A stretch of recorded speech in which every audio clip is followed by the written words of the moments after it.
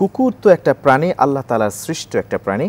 তো কুকুর ঘরে প্রবেশ করা অথবা কুকুর ভক্ষণ করা এটাকে কেন আল্লাহ তালা হারাম করলেন?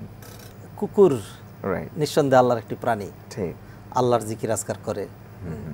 কুকুর মানেই যে অবৈধ কুকুর মানেই যে হারাম ব্যাপারটা কিন্তু এরকম নয়। আচ্ছা। সোরা মাইদার চার নাম্বার আয়াত আপনি খেয়াল করুন। আল্লাহ ওয়া তাআলা সেখানে বলছেন এস আলু নাকা মাযা উহিল্লা লাহুম। রাইট কুল উহিল্লা লাকুম আত-তাইয়্যিবাত ওমা আল্লামতুম মিনাল জাওয়ারিহি মুকাল্লিবিনা তুআল্লিমুনাহুন্না মিম্মা আল্লামাকুমুল্লাহ। আল্লাহ। তারা প্রশ্ন করে হে নবী তাদের জন্য কি হালাল করা হয়েছে? সেখানে আল্লাহ বলে দিলেন কেউ যদি তার কুকুরকে শিক্ষা দীক্ষা দিয়ে প্রশিক্ষিত বানাতে পারে রাইট এই কুকুর তার জন্য যেই শিকার ধরে নিয়ে আসবে ধরুন কুকুর ছেড়ে দিলেন বিসমিল্লা বলে। এখন সে একটা খরগোশ ধরে আপনার জন্য নিয়ে আসলো। খরগোশটা ধরতে গিয়ে সে খরগোশটাকে মেরে ফেলল। রাইট এখন এই খরগোশটা আপনার জন্য হালাল। হ্যাঁ। অথচ এটি কুকুর শিকার করেছে। ঠিক।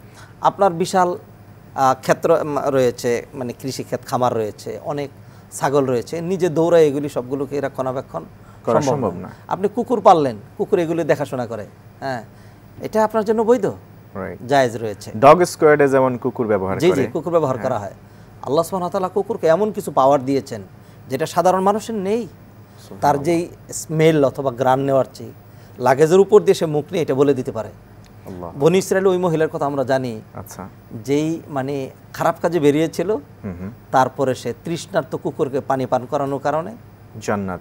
আল্লাহ তাআলা জানিয়ে দিলেন এই কুকুরকে পানি পান করার কারণে মহিলা জান্নাতে যাচ্ছে। অতএব আল্লাহ ওয়া কিন্তু কুকুর মানেই নিন্দনীয় এমন করেন নাই। তবে একটা জিনিস আল্লাহ সুবহানাহু ওয়া তাআলা মানুষ কি খাবে কি. বক্ষণ করবে? সেখানে আল্লাহ ওয়া মানুষকে খাওয়ার জন্য বহুত কিছু দিয়েছেন। গরু দিয়েছেন ছাগল দিয়েছেন সেখানে কুকুর হারাম করে দিয়েছেন। কুকুরের লালা হারাম করেছেন। কারণ হলো দেখুন সবই যে একই মানের হতে হবে এটা কিন্তু জরুরি নয়। আপনি যদি মনে করেন কথার কথা এগুলি আমারই অঙ্গ আপনি আমাকে বললেন আসসালামু আলাইকুম। হাত বাড়িয়ে দিলেন। আমি যদি ওয়ালাইকুম আসসালাম বলে পা বাড়িয়ে দিই তা তো হবে না। তাহলে আমি যদি বলি যে না কেন? এটা তো আমারই শরীর। হাতটাও আমারই পাটাও। তো আমারই হ্যাঁ। আপনি কিন্তু মাইন্ড করবেন সেখানে। যদিও আমারই সেখানে দেখা যাচ্ছে হাত এবং পায়ের মাঝখানে কিন্তু এটা যদি আমি বুঝতে পারি তাহলে একটি ছাগল বকরি আবার একটি কুকুর বা শুকর এই দুইয়ের মাঝখানেও পার্থক্য রয়েছে। আল্লাহ ওয়া তাআলা যিনি সৃষ্টি করেছেন তিনি জানেন আলা ইয়ালামু মান খালাক। ও আল্লাহ খবির। সবগুলোকে এক মান করে তৈরি করা হয়নি। তাহলে একটা মানুষ প্রশ্ন করতে পারেন যে আমি কেন আশাফুল মাখলুকাত? না আমি নিকৃষ্ট কুকুর ভালো। এটা তো বলতে পারেন। না এই ক্ষেত্রে আল্লাহ সুবহানাহু ওয়া তাআলা যিনি সৃষ্টি করেছেন কে কোন মানের? এই এই প্রশ্ন শুধু এখানে আসবে না এই প্রশ্ন আমাদের অফিসে চলে আসবে যে আমি কেন একজন সাধারণ কর্মচারী তিনি কেন বস হ্যাঁ আল্লাহ সুবহানাহু ওয়া তাআলা নবীদের মাঝখানে এরকম করেছেন। আল্লাহু তিলকা রসুল ফাদ্দালনা বাদাহুম আলা বাদ। রিজিকের ক্ষেত্রে আল বলছেন আল্লাহ ফাদ্দালা বাদাকুম আলা বাদিন ফির রিজক। অতএব সৃষ্টির মধ্যে আল্লাহ সুবহানাহু ওয়া তাআলা এটা একটা আল্লাহর বৈচিত্রতা এটা একটা সৌন্দর্য যে একটা প্রাণীর উপরে আর একটা প্রাণীকে আল্লাহ সুবহানাহু ওয়া তাআলা অধিক মর্যাদা দিয়েছেন একটাকে খাবারের জন্য করেছেন।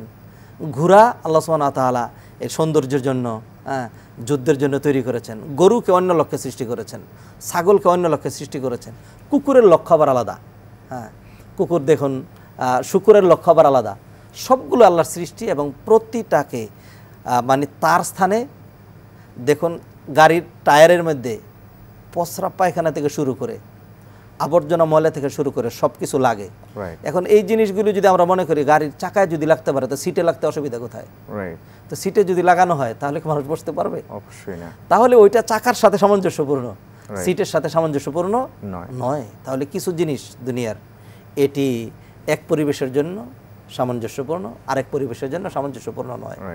অতএব কুকুরের ক্ষেত্রেও এই কথাগুলো আমাদেরকে বিবেচনা করতে হবে যে আল্লাহ কুকুর মানে এমন করেননি যে কুকুর একদম টোটাল প্রহিবিটেড এরকম না। মানে মানে অনেক উপকার রয়েছে। তো সবকিছুকেই আল্লাহ তাআলা সাখার আলাকুম আরদে জামিয়া মানুষের সৃষ্টি মানুষের জন্য করেছেন। কল্যাণে সৃষ্টি করেছেন। তবে সেই যে সবকিছুই ওতপ্রোতভাবে মানুষের সাথে সম্পৃক্ত হতে হবে বিষয়টা কি এরকম নাকি? না।